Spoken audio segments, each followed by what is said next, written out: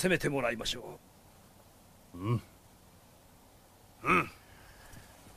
軍師兄上調査攻めいつ出発しましょう？息もつかず来られたばかり。一両日休まれよ。実はこの調査攻めはなかなか厄介なのだ。甘く見てはいかん。調査の大衆勸玄は短気な上に残虐で皆に恨まれ取るに足りぬ。しかし手強い武将がいる。南洋の人で姓は公名は中あだ名は官将劉氷の下で中老省を務め劉氷の甥劉番と共に調査へ入り今に至った。年はもう60近いとはいえ万夫不当の猛将。その上兵法にも精通している。兵を余計に連れて行かれるとよい。慶応攻めと武領攻めではそれぞれ3000の兵でうまくいったが調査を攻めるなら1万は必要。くれぐれも気をつけられよ。軍師何をおっしゃる。たかが老いぼれ一人心配はいりません。私1万どころか手の者500機だけで十分。甲冑と勸玄の首を取り献上いたそう。兄貴軍師が心配するんならわしも一緒に行こう。そんなじじいひねり潰してやる、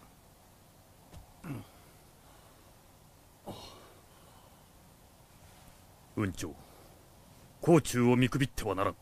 よいな。安心してください。ことは急を要すのでこれにて失礼。途中まで送ろうさあ。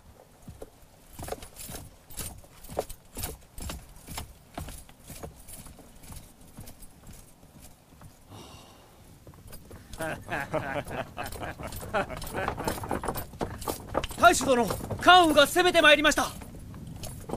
なんとかつてたった一騎で6人の武将を切り捨てた上5つの関所を破ったというあの関羽が攻めてまいったのか。殿ご安心を。私にはこの刀と弓があります。誰だろうと片付けましょう。行くぞ。お待ちを。将軍が行かずとも私が関羽を捕らえます。この義援も参りますぞ。義援は身を寄せたばかりでわしの配下の強さを知らんようだ。しばらくの間は出しゃばらずに下がっておれよれあ一戦機を率いて撃って出るのだあおい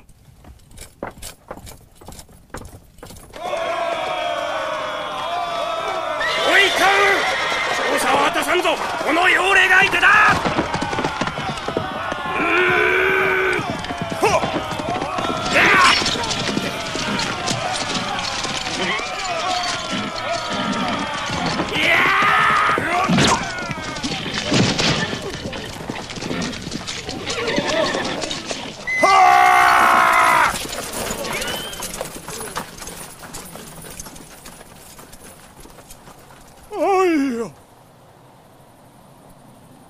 殿。ここはやはりわしが参ります。ああそうだな。頼むぞ。え？ほっ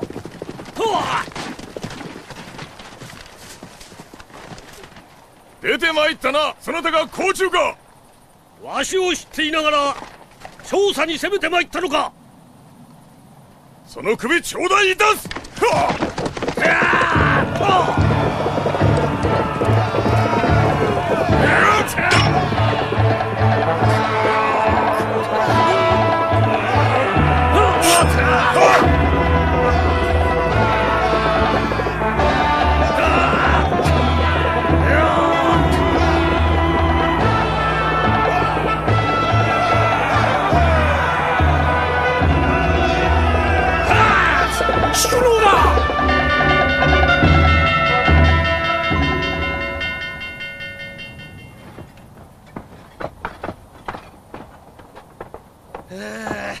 なぜです？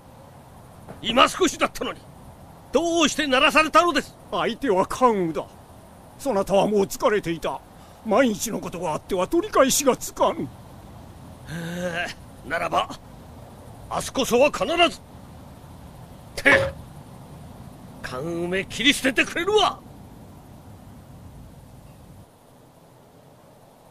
おい関羽さっさと出てまいれ。今日こそ勝負をつけてやる。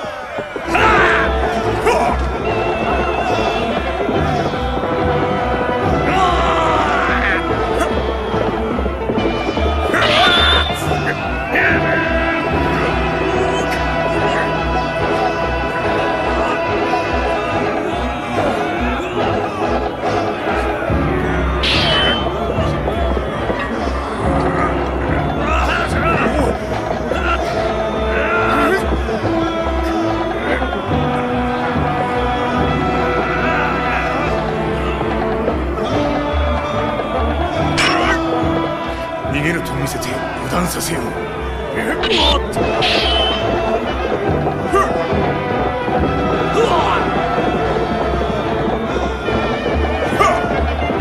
待て。待て。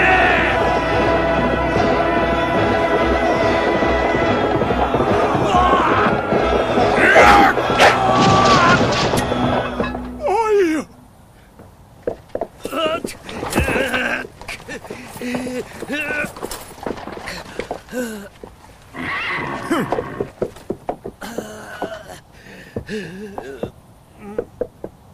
こは見逃してやる。馬を取り替えてこい。